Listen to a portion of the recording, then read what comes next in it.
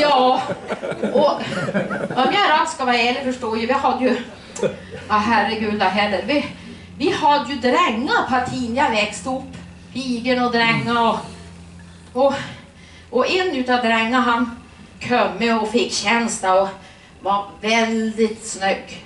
Och hemskt vad fin han var. Och piga vad hade då, hon fortsatte så kär till den karln. Ja, det var rakt ledsamt att se för han, han var som inte riktigt intresserad.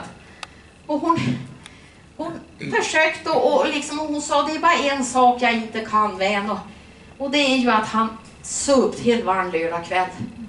Jag vet inte, det var ju arbetsvecka över och han, han tog sig en rejäl bläcka och, och brukade stanna på drängkammaren där hinken bredda väser för att kasta upp. Hon, hon visste som inte riktigt hur hon skulle få ordning på honom. Och så skulle vi ju slakta grisen innan, innan jul. Och då minns jag hon frågade mamma om hon fick ta reda på terma. Men sa mamma, vad ska du med terma till? Ja, hon var så inte liksom att det gick att få ut någonting. Så hon fick den där hinken med, med gristerma och på något då smög in på grannkammaren och så bytte hon ut hinken.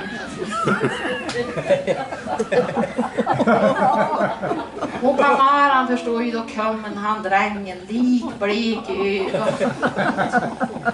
Och hon var så liten, men Sanna hur är det Sanna? Hur mår du idag?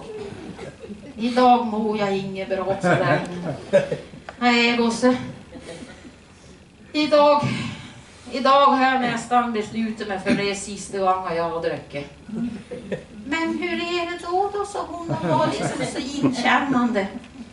Jo men Sam, du förstår, i morse då jag vaknade och tittade ner i hinken, då hade jag rakt kräktes upp terma.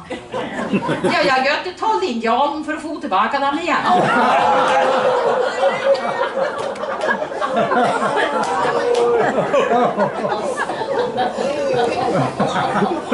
Jag minns aldrig hur det gick. Jag tror inte de fick varandra ändå.